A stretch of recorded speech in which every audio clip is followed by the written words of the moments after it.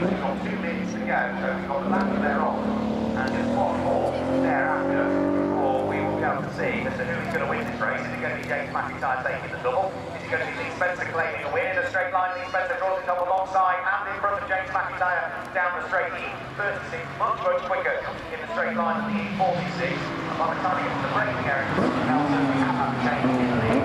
Lee Spencer is a lead. James McIntyre is second. Now being James Carr. James Carr having a seat just how easy it was. We had a meeting Spencer in the straight line.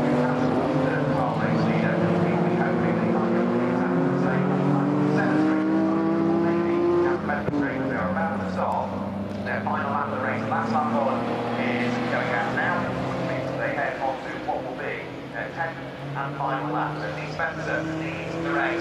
James McIntyre, yesterday's race winner, in second position. James Carr in third. Top three pretty equidistantly spread in reality. 0.9 of a second between first and second, 0.8 of a second between second and third place. The top three covered by just 1.8 seconds with a further 2.8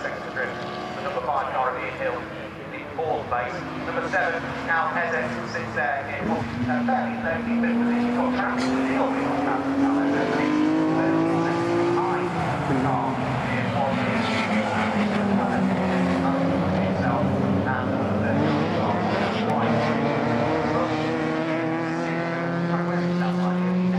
Working his way through four of them, but